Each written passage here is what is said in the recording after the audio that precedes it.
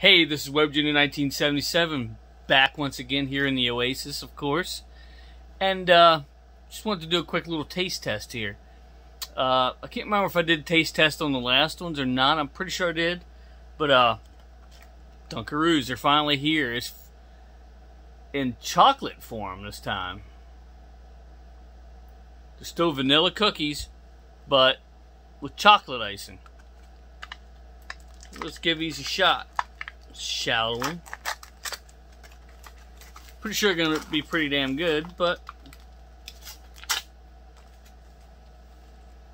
Alright, the cookies still look the same. They're still the vanilla cookies. So if we have chocolate icing, that's what it looks like there. Mmm.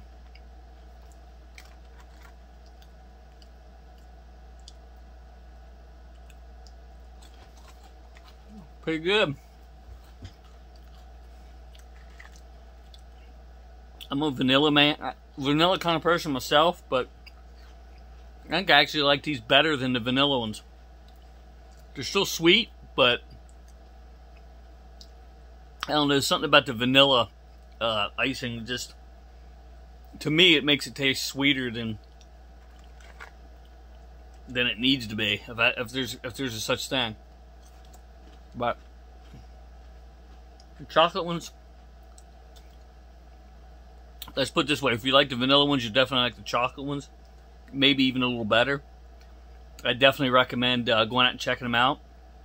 Um, pretty sure Mr. Transaaron 38, also known as Smokescreen 38 on YouTube. Um, he might already have a video up. Make sure you check him out as well. Make sure you also check out all the links in the description below definitely try the chocolate Dunkaroos. So thanks for watching it, buddy. Until next time, I'll meet you right back here in the Oasis.